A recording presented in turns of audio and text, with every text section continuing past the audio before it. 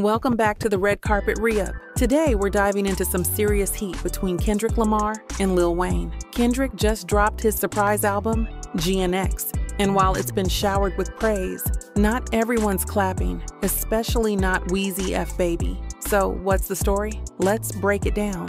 Kendrick wasted no time addressing controversy right out of the gate. On the opening track, Wacced Out Murals, he finally responds to backlash surrounding his upcoming Super Bowl halftime show. Now, here's where it gets spicy. K. Dot directly references Lil Wayne, saying, Used to bump the Carter 3. I held my Rolly, chain proud irony. I think my hard work let Lil Wayne down. That line, a callback to Wayne's very public disappointment about not headlining the Super Bowl in his hometown of New Orleans. And Kendrick doesn't stop there. He takes aim at critics and veteran rappers with bars like old ass flows, trying to convince me that you they favorite slash this is not for lyricists. I swear it's not the sentiments. Oof, that's not just a jab, it's a KO punch. Now, you know Wayne doesn't hold back, and he wasn't about to start now. Hours after the album dropped, he fired back on X with a cryptic yet fiery message. He said, Man, what the fuck I do?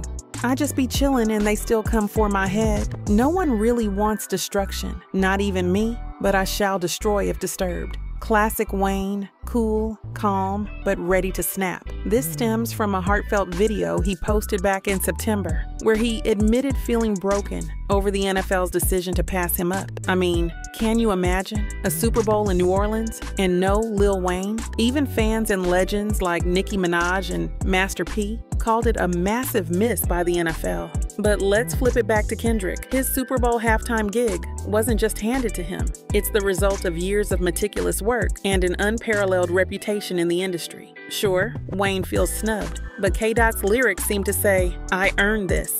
And that line about Nas being the only one to congratulate him, it's a clear signal that Kendrick's circle is smaller than ever. But he's okay with that. So is this beef about the Super Bowl, or is it deeper?